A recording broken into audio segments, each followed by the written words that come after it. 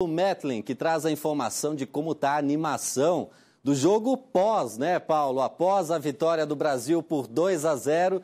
De onde você fala, meu amigo? Uma boa tarde para você. Oi, Luan, boa tarde para você, boa tarde a todos. Começar o Jornal Leve, até porque é quase sexta-feira. E o Brasil ganhou 2 a 0, né, Luan? Movimento intenso em toda Santa Catarina, mas também, é claro, aqui na capital e no centro não foi diferente, onde eu estou. Mais de 2.500 pessoas reunidas, familiares, amigos e a galera agitada por aqui, tá? É claro que a gente vai falar com algumas pessoas também. Wendel, camisa 10. É isso? Camisa 7. Camisa 7. Me diz o seguinte, a expectativa foi esperada? Bom, a expectativa era maior. A expectativa era maior hoje, mas o Brasil jogando regular ainda conseguiu fazer 2 a 0 né?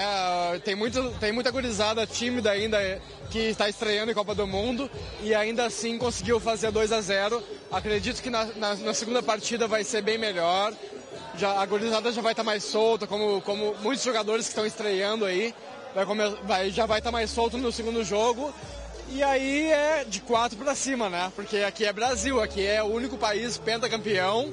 Então a gente tem, tem que acreditar e a torcida tem que ser positiva e com bastante fé. Aí, valeu, obrigado e acreditar até o final. É claro, tem gente que sofreu durante esse período também. Rafa, me diz o seguinte, deu para sofrer um pouquinho? Deu para sofrer, principalmente o primeiro tempo foi acirradíssimo ali, mas que bom que teve o segundo tempo que deu uma aliviada e quase teve terceiro gol, né? Então a gente ficou ali a torcida.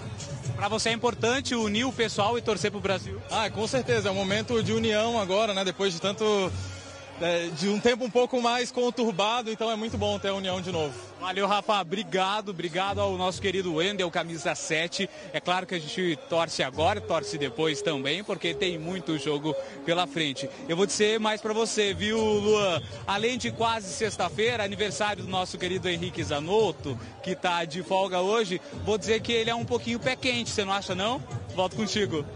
Acho sim.